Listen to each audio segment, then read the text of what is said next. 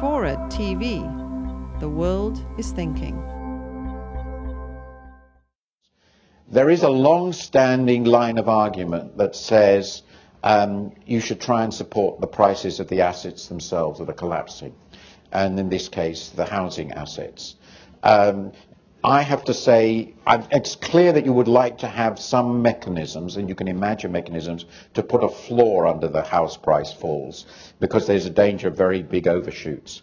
I'm not in the least persuaded that house prices in the US, let alone any of the other countries with bubbles, are even at equilibrium levels, let alone having overshoot shot. I think uh, adopting a general policy of trying to keep house prices above market clearing levels is a very, very bad idea. And uh, because, I mean, you, you're basically trying to set, the government would in some ways be trying to set the prices of uh, a vast part of the, um, the asset base for an economy for the indefinite future. Unless you're really pretty confident you're above, uh, you're, you've overshot downwards and house prices are still above long-term trends in most countries, um, I think that would be a very bad idea. What you can do, and that becomes more interesting, is what we did when we had a house price collapse in the early 1990s. You can help some of the people who are affected. Uh, we did that through our welfare system, but you don't really have one, so you can't do that.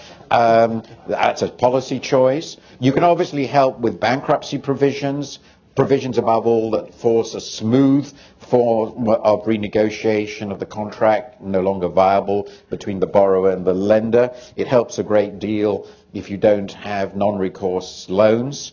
Um, most of our uh, most other countries, uh, um, uh, uh a, a, default on a housing loan automatically means um, personal bankruptcy. That gives a long, strong incentive for people to sustain payments, but I really don't like the idea of interfering with the clearing of uh, the market.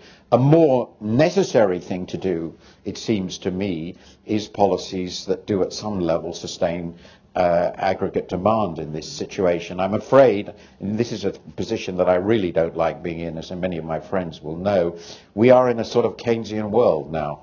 And that means, for sure, we're going to have enormous fiscal deficits. The fiscal deficit here is exploding and will get bigger. The same is going to happen in Britain.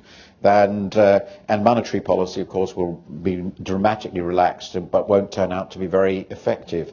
The, my bottom line on this is I agree with your analysis, but we are going to go through a pretty significant recession, and I'm not sure trying to fix the house price declines themselves is a good way of preventing this.